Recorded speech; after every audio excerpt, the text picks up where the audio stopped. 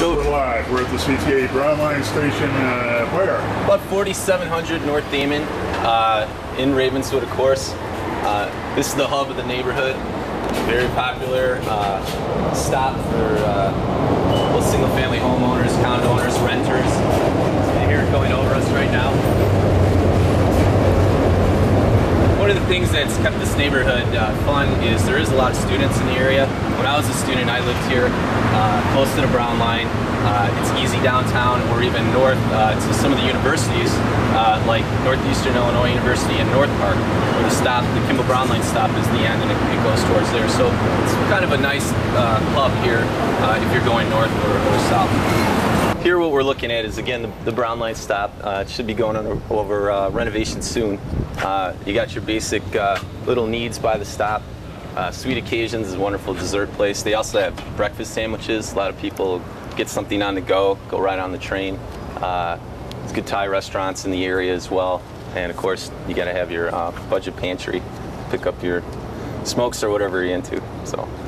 Is uh, smoking allowed in the neighborhood? I thought, uh, I thought it was banned almost. Well, it's not banned in the neighborhood, but come January, there's gonna be a lot of happy parents. Uh, uh, all the bars and restaurants uh, ban smoking, and uh, so I gotta imagine it's gonna be a rush of strollers in some of the neighborhood places. Uh, should be good for business, though. I think. Yeah, the Rail uh, has been a popular uh, neighborhood eatery. In fact, it's been so popular it's expanding into uh, what was a former liquor store they owned too. used to be called Simply Ray's, I believe. Um, yeah, a lot of noise here.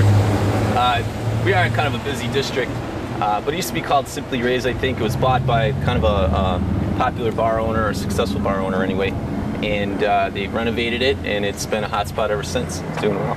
Now, and just to give an idea of the real estate, uh, we have a home for sale here. It's for 500. Uh, it's a standard lot right on Damen, uh, very close to transportation. Uh, it's a total rehab or a tear down.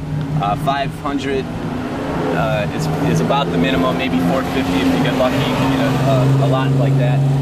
Uh, have a new dance studio here uh, that's So been. let, let me stop oh, you go there. ahead, please. Let me stop you there. What you're telling me is basically a, a lot price here is 450. Yeah, I would I would imagine, especially on Damen, uh, it could go higher when you get into the residential streets. So, uh, but if we go down and uh, we see a finished home, it's actually it was uh, a very uh, nicely done renovation of a five to six bedroom home.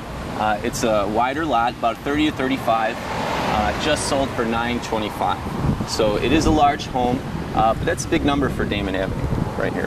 That's a three story, it looks like, or two and a half Yeah, story? three, three-story home. Uh, it might have some sort of coach house in the back, and it, I think it was sort of a lodging home before the renovation. This is indicative of what's going on in the neighborhood as far as price points and uh, in housing. Uh, this is an eight-unit condo conversion.